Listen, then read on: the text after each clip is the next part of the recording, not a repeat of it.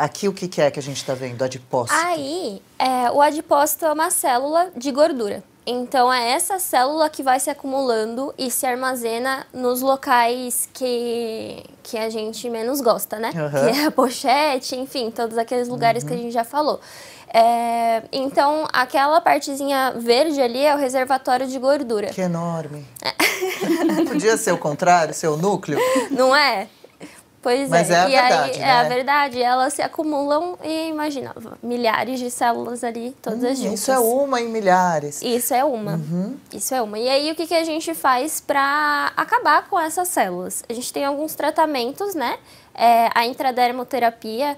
Uh, ficou bem famosa, é famosa, pela parte de injetáveis corporais. Então a gente trabalha aí com a, principalmente com a parte de gordura localizada. Uhum. Então nós temos duas enzimas. Uhum. Essas enzimas, na verdade, gente, nós temos várias, uhum. mas nós temos as enzimas é, que são intramuscular, que nós fazemos a, a é, o injetável vai ser por via muscular. Essa dói um pouquinho, não vou mentir. É, mas, mas, dá para aguentar, não dá, tem anestesia, não. né? Mirella pode pôr pra não. gente a próxima, que já mostra a temida agulha. Olha lá onde essa, ela chega. Essa daí é, não é intramuscular. Não? Que é intramuscular, ela vai um pouquinho além dessa parte.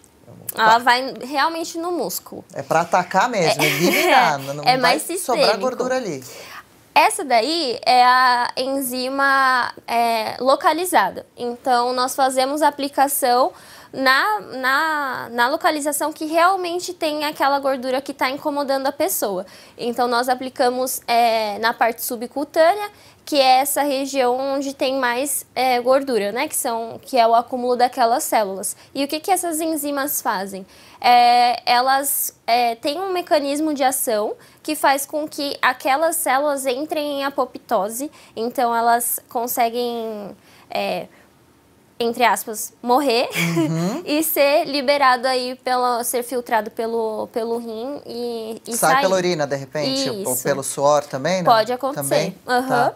E é, e além da enzima, tem aquela hidrolipoclasia que eu tinha falado sobre o soro fisiológico, é a mesma ideia. O soro fisiológico ele vai nessa parte subcutânea, entra em contato com as células de gordura é, e fazem com que essas células se expandam. Uhum. E aí nós utilizamos aí o ultrassom que ele faz a, a potencialização da, desse processo e com o ultrassom elas uh, conseguem se expandir até realmente entrar em apoptose e serem liberadas também. Se dissipam e somem. Isso. Ou seja, maravilhoso o tratamento. É muito bom. Eu já fiz também faz bastante tempo e não foi na Elfer, Uhum. foi há bastante tempo mesmo, ainda não conhecia vocês.